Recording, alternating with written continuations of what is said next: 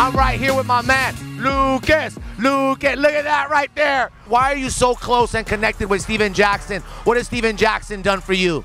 Uh, he's been a great uh, role model to not just me but other people, and uh, it's just started from Big Three. So I kind of want to give uh, claps to Big Three for uh, doing this. These some custom shoes made by my boy Luca.